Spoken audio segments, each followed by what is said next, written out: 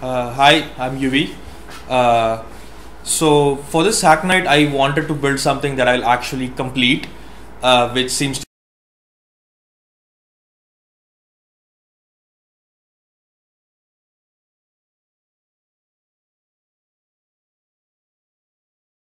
like years because I bought like the domain.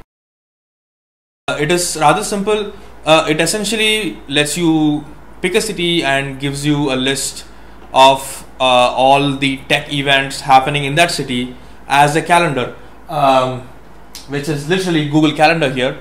Uh, and uh, then I or someone who would want to help me would probably trawl around uh, the various websites and mailing lists of such groups in the city uh, and add them here myself.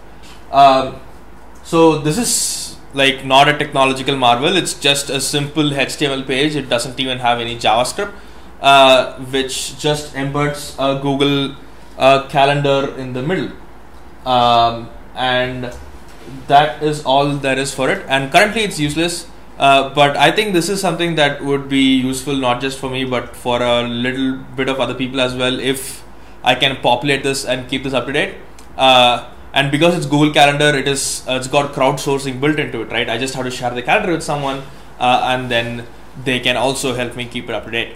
Uh, eventually, I plan on replacing the current Google Calendar embed with a prettier one that is based on uh, like you know just read the data from the API and then like format it myself. And also, if you look at it, there I've also gotten a Twitter account which should uh, automatically be able to tweet uh, all the current, I mean, all the events as they come up, like a day before or a week before, essentially nagging you so you don't forget.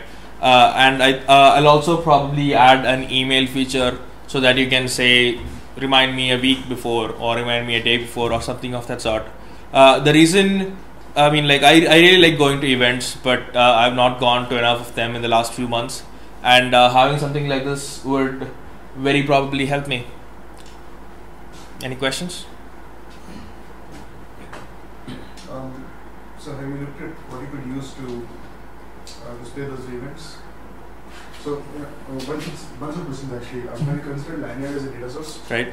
And just pull events from Lanyrd. Yeah.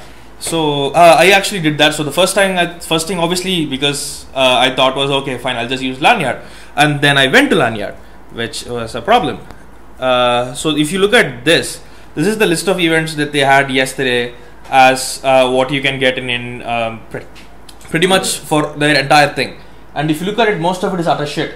Uh, it's corporate quiz on big data going on for 15 days, a test event like WWE Monday night Raw live stream so this is not really usable in any form or way uh, and plus they are like a startup which needs revenue stream so obviously they will have to do some things to keep them things running while this is just like a guy with an html page so obviously might have a better chance so that is the problem with lanyrd, and that's why i'm not using lanyrd what about submissions? Can you take submissions? Uh, yeah, so right now I am opening submissions by saying like, hey, want to add your event here, email uvpanda at gmail.com uh, very low tech. This entire thing is completely low tech. Uh, like even the tweet, there is nothing automatic. When I add an event, I go and tweet it myself. Mm-hmm. Uh, so obviously these will be automated eventually, but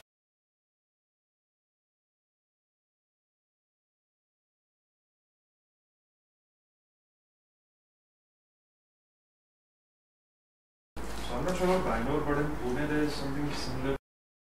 It's run by Mr. Naveen Kabra. Pune Okay. Tech. Pune Tech. Yeah.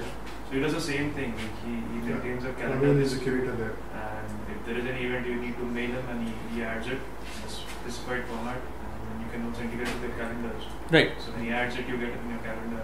that sounds exactly Yeah, exactly. exactly Yeah. the same as So what this is. is, Naveen, for instance, also um, has his own rules for what Yeah. events he lists. So Yeah. his his policy is that he'll not list a paid event. No, he did this way. Now he does because now he's gotten around the idea that the paid event is still a community event. Uh-huh. But uh, we had to go and convince him when the first time we did an event in Pune.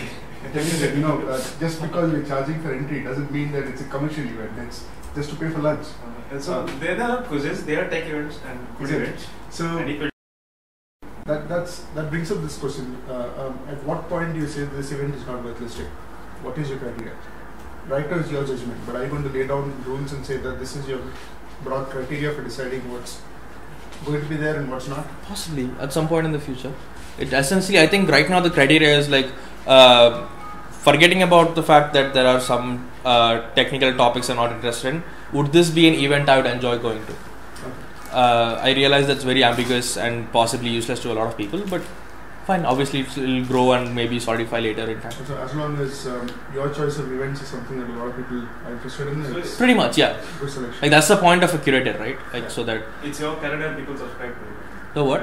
It's your calendar and people subscribe to it. right? Uh, yeah, right. So far, uh, but I, I mean, I'm not going to.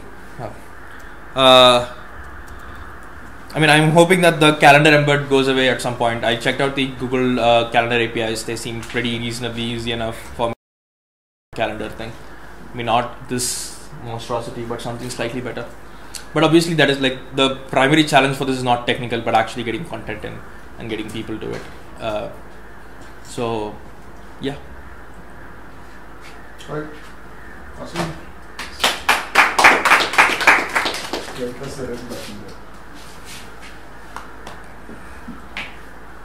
It takes a while to stop again.